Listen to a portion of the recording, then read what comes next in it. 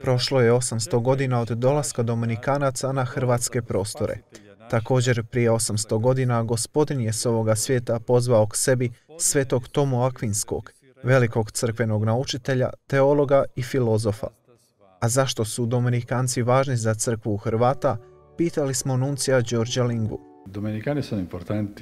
Dominikanci u Hrvatskoj, kao i u svijetu, važni su zbog karizme koju imaju, a to je, iznad svega ostalog, karizma poučavanja. Danas pak slavimo spomenan jednog od najvećih Dominikanaca, svetog Tomu Akvinskog, koji je imao tu karizmu spajanja vjere s razumom. Postoje situacije kada se razum jednostavno zaustavi, zastane, jer više ne može objasniti neke stvari, a tada nam u pomoć dolazi vjera. Geslo dominikanskog reda je veritas, odnosno istina. U svijetu gdje je relativizam svakim danom sve snažnije odjekuje, upravo je važno svjedočiti u istini za istinu. E Tako je. Postoji relativizam koji nam ne dopušta vjerovati kako postoji jedna istina. Dominikanski red također posjeduje karizmu otkrivanja i prenošenja istine. To je dar shvaćanja istine kroz poniznost. Poniznost koja nam dopušta da Božje svjetlo uđe u naša srca, pa da možemo reći da, ovo je istinito, vjerujem. E deve fare un salto, come un salto nel buio, salto nell'abisso, e lo fa grazie alla fede. U Hrvatskoj ima sedamdesetak Dominikanaca, a sve je započelo sa Svetim Dominikom prije osam stoljeća. Zašto je za crkvu važan Sveti Dominik i na koji način je Dominikanski red utjecao na oblikovanje hrvatske povijesti, pitali smo provincijala Hrvatske Dominikanske provincije Slavka Sliškovića. Sveti Dominik je važan za crkvu jer je znao prepoznati potrebe svoga vremena te materijalnu i duhovnu glad svojih suvremenika.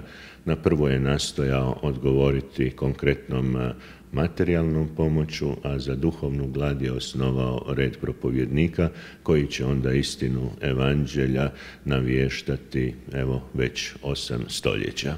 Dominikanski red u Hrvatskoj je poput i drugih zemalja nastojao uvijek spojiti onu ljudsku mudrost sa božanskom objavom.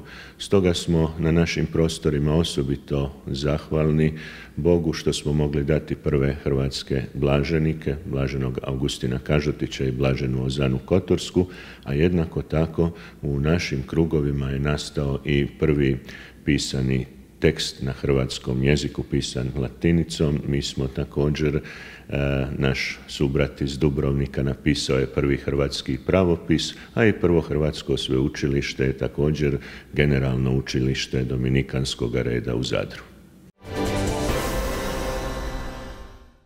Predsjednik Vijeća Hrvatske biskupske konferencije za ustanove posvećenoga života i družbe apostolskoga života, gospić-kosenski biskup Zdenko Križić, te predsjednik Hrvatske redovničke konferencije Slavko Sišković uputili su poruku prigodom Dana posvećenog života.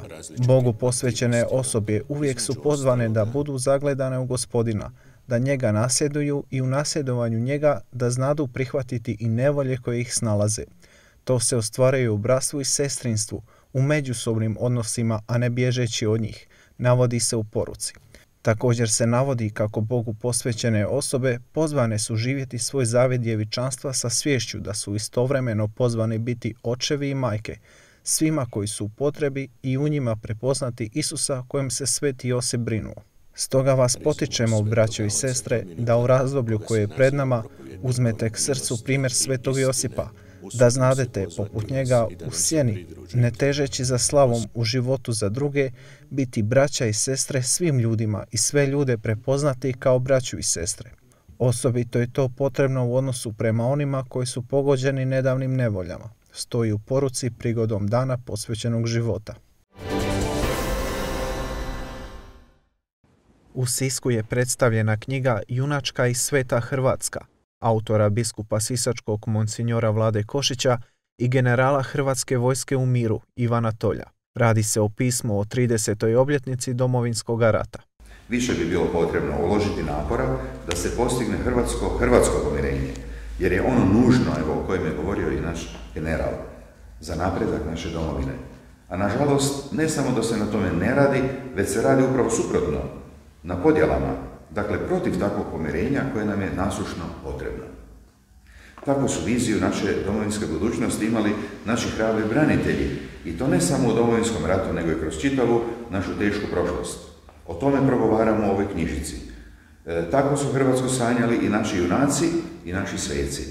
Nabrajamo ih kao najbolje članove našega naroda. Osobito molimo Blaženu djevicu Mariju, koju naš narod rado naziva kraljicom i odvjetnicom Hrvatske, da nam izmoli da i mi budemo nasljedovatelji tih slavnih muževa i žena, naših hrvatskih junaka i svetaca, da bismo tako gradili domovinu u miru, da ona ima sretnu budućnost. Na sjednici vlade Republike Hrvatske premijer Andrej Plenković najavio je da će od ponedjeljka 1. veljače doći do blagog popuštanja epidemioloških mjera. Nakon rasprava s vladom i sa stožerom, premijer Plenković najavio je kako će od ponedjeljka na nastavu moći krenuti učenici viših razreda osnovnih škola, a omogućit će se i veći broj sportskih aktivnosti na otvorenom.